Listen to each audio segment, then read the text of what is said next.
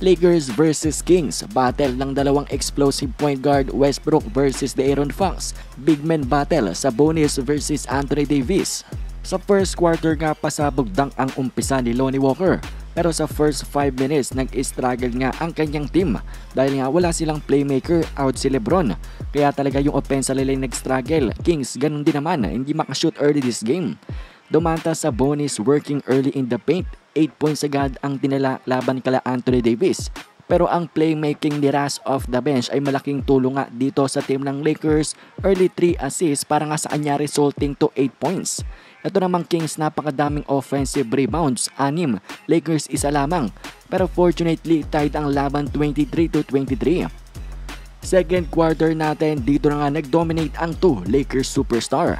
AD Westbrook duo, 12 points agad ang inambag sa unang mga minuto dito sa quarter. Westbrook dalawang 3-pointers na agad.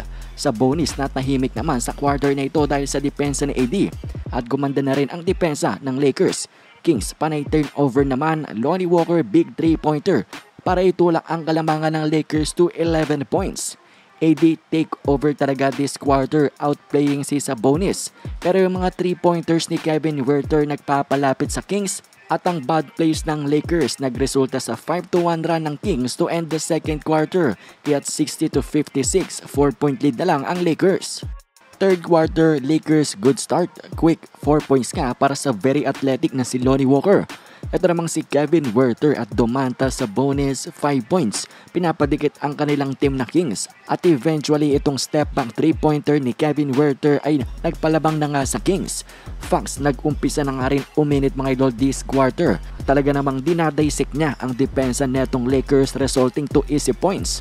Back and forth ang naging labanan dito sa third quarter hanggang naging tied 75 to 75 with 4 minutes left pero kumuha nga ng lamang ang Lakers with this great move by Austin Reeves. Before the fourth quarter, ang score natin 88 to 87, Lakers 1 point lead. Fourth quarter naman, Lakers 2 turnovers agad. All of a sudden, may 3 point lead ang Sacramento.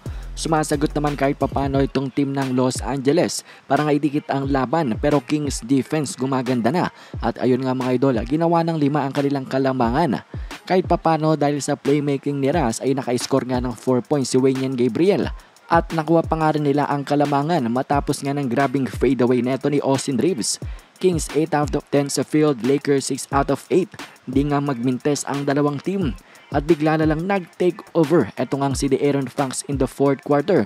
Bumawi naman etong si Davis pati na rin si Westbrook ng kanilang mga clutch shots. Pero mga idol, grabe etong ang young player na si De'Aaron Fox. Back-to-back clutch shots ang kanyang ang naipasok para bigyan ng panalo ang kanyang team. Nagulantang ang Lakers mga idol. Final score natin 120 to 114. D-Fox nagtalanga sa laban na ito ng 32 big points plus 12 assists and 7 rebounds, dalawang steal. Sa bonus, may 21 points and 10 rebounds. Anthony Davis, 24 points, 14 rebounds, 3 block.